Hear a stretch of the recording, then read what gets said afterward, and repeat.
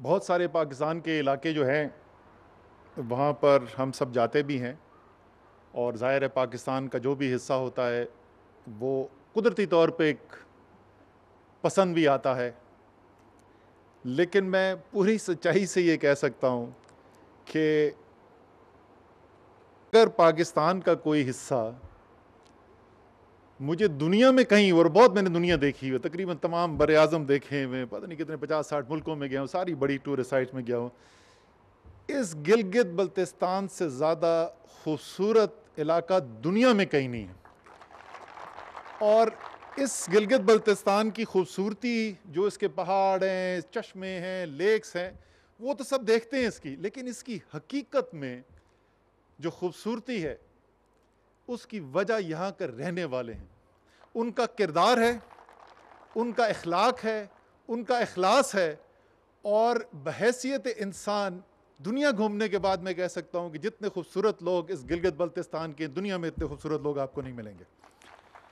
इसलिए ये काम करते हुए वज़ी अजम साहब का जो एक विज़न है कि पाकिस्तान के कमज़ोर तबके के लिए काम करना है और पाकिस्तान के वो इलाके जो तरक्की में पीछे रह गए उनके लिए काम करना है ये हमारा चौथा आज वज़ी अजम एक किसी भी मखसूस ख़त्े के लिए मरबूत तरक्याती पैकेज का ऐलान हो रहा है। पहले हमने कराची का किया उसके बाद हमने बलूचिस्तान के जो सबसे ज़्यादा पसमानदा अजला हैं उनके लिए किया फिर सिंध के चौदह अजला के लिए किया और आज ये गिलगित बल्तिस्तान का करने जा रहे हैं।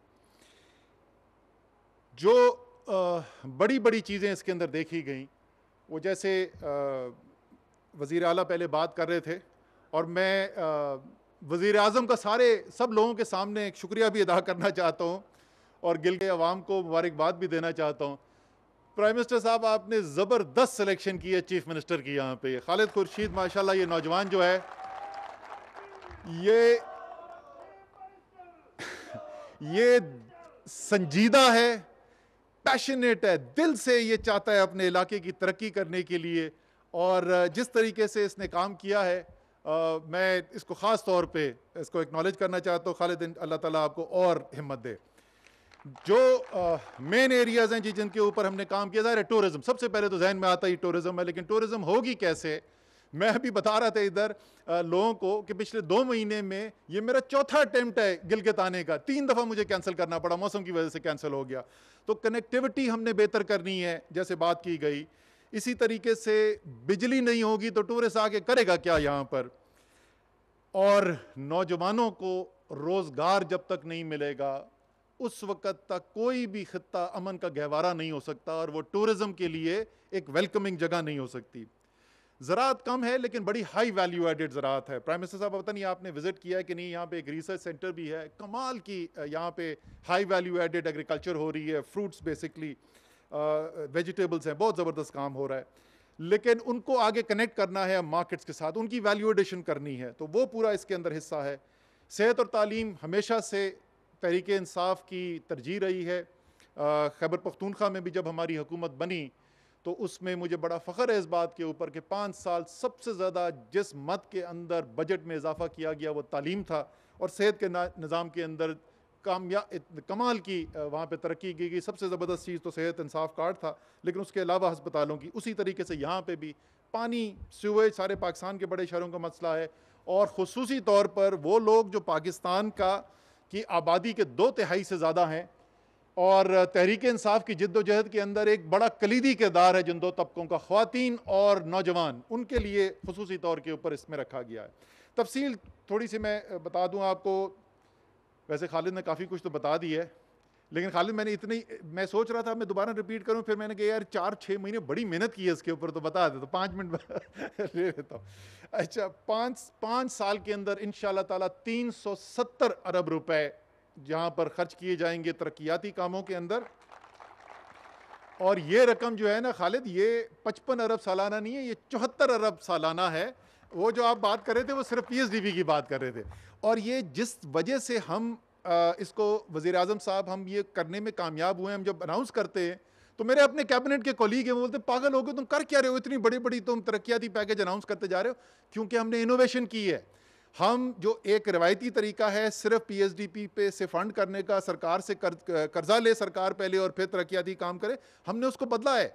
हमारे प्लानिंग डिवीज़न के अंदर ही पब्लिक प्राइवेट अथॉरिटी है उसको हमने फाल इदारा बनाया है और अरबों के नहीं, सैकड़ों अरबों रुपए के इस वक्त पब्लिक प्राइवेट पार्टनरशिप के अंदर प्रोजेक्ट्स किए जा रहे हैं, जो पी थ्री ए के बोर्ड पे आ रहे हैं अप्रूवल्स हो रही हैं और एक बड़ा हिस्सा उसका इधर भी शामिल है। बिजली के निज़ाम के लिए नौ मंसूबे 250 मेगावाट टोटल इन मंसूबों की कैपेसिटी है 250 मेगावाट बिजली का इजाफा होगा इन नौ मंसूबों से। सारे हाइडल के प्रोजेक्ट्स हैं क्लीन एनर्जी के प्रोजेक्ट्स हैं, और साथ साथ लोकल डिस्ट्रीब्यूशन ग्रिड जो है आपका उसको फैलाया जा रहा है ताकि वो बिजली जो है वो रिलायबल तरीके से पहुंचाई भी जा सके। और उम्मीद है कि ये जब कंप्लीशन होगी तो उसके बाद कोई वज़ीर अला को ये नहीं शिकायत कर रहा होगा कि जी 12 घंटे लोड शेडिंग हो रही है। 140 अरब रुपए तो सिर्फ़ ये बिजली के मनसूबे हैं। पाँच सड़कों के बड़े मनसूबे हैं 35 अरब रुपए उसके ऊपर हम खर्च करने जा रहे हैं जी। मैं उनको बड़े बड़े मंसूबों के नाम बता दूँ। मेरी अगर तलफ़ के अंदर गलती होगी तो मुझे माफ़ कर देना। एक तो वैसे एक ज़ुबान किसी और को सीखना मुश्किल होता है आपकी तो अलहमदिल्ला को छः या सात ज़ुबानें यहाँ पर। तो वो खूबसूरती the diversity of G B शगरतवांग गुरीकोट रोड जो है जी, दरेल तंगीर एक्सप्रेस वे है, शिगर पैजो रोड है शाराय नगर है, और अस्तौर के अंदर थालीची से शंतौर तक की रोड है जिसका आप ज़िक्र कर रहे थे। और आगे शंतौर टनल के ऊपर, जैसे हमने बताया फिजिबिलिटी का अहकाम दे दिए गए हैं इन ताला उसके ऊपर फिजिबिलिटी पे जल्द काम शुरू हो जाएगा। और, वो भी मंसूबा करना है। वज़ीर अला उसको इतनी तरजीह दे रहे थे, उन्होंने कहा, अगर सिर्फ़ एक काम करना है तो आपने ये मुझे शौंतर टनल बना के देनी है। और, जैसे इन्होंने ज़िक्र किया, ये गिला, मैं भी गिलगित बल्तिस्तान जब आता था तो गिला सुनने को मिलता था कि जी, एक तरफ़, गवादर है सी पैक का तो दूसरा उसका एंड जो है, वो गिलगित बल्तिस्तान है तो गवादर का तो बड़ा ज़िक्र होता है। सी पैक के मनसूबे यहाँ पर हमें नहीं नज़र आते। तो गिलगित शंदूर का मंसूबा जो है, वो अगली जेसीसी के मिनट्स के अंदर शामिल कर दिया गया है, यानी चाइनीज़ साइड से भी उसकी मंजूरी आ चुकी है और इन ताला सी पैक के अंदर इस मंसूबे को बनाया जाएगा। इसके अलावा अली अमीन गंडापुर साहब का मुझे बड़ा पैशनेट उन्होंने अपील की है कि एक इंडस्ट्रियल जोन यहाँ पे जो है, उसके ऊपर भी काम को तेज़ किया जाए और उसकी भी फॉर्मल अप्रूवल कराई जाए। इन ताला उसके ऊपर भी करते हैं जी। फिर जनाब छः अरब रुपए के टूरिज़्म जिसका इंफ्रास्ट्रक्चर टूरिज़्म का और स्किल डेवलपमेंट क्योंकि जो हाई एंड टूरिज़्म आप लेना चाहते हो ना सीएम साहब, उन लोगों को आदत है कि जब वहाँ जाते हैं, एक सर्विस स्टैंडर्ड है जिससे उनकी आदत है।